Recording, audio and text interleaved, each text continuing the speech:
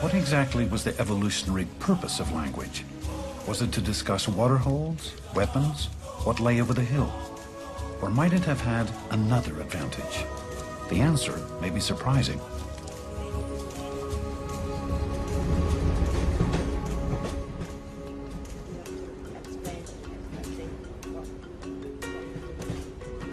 The kind of situations we we're looking for to study language was just the sort of natural places where you would have a conversation and a very informal, relaxed conversation with a friend. So we kind of looked in places like bars, trains, anywhere where you would kind of um, have a sort of a natural everyday conversation.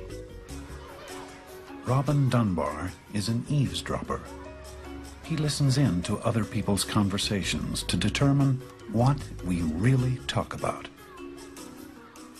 I think the conventional view of all those who work on language, linguists and all these kind of people, is that language is about the transmission of technically complex information. This is what I kind of call the, the Einstein and Shakespeare version of language. And the answer is, oh no, it isn't. If you actually go and listen to what people talk about on a day-to-day basis, back there in their homes or on the street or over the garden fence, then it's about social relationships.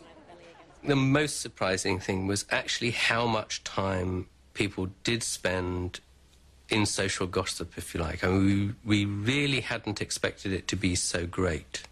Social exchange of information should be important in people's lives. We really hadn't expected it to be perhaps more than about a third of total conversation time. And here we were at uh, two thirds. Two thirds of all conversation, Robin Dunbar believes, is dedicated to gossip. Throughout human evolution, could nature have selected not just for the fittest, but for those with the most acute social skills? What language does, the bottom line, if you like, is it just allows us to hold big groups together. It's like a kind of opening a window of opportunity. Suddenly there's all sorts of other things you can do with it. Uh, because you can use it to solicit information about third parties, so you can now see what happened when you weren't actually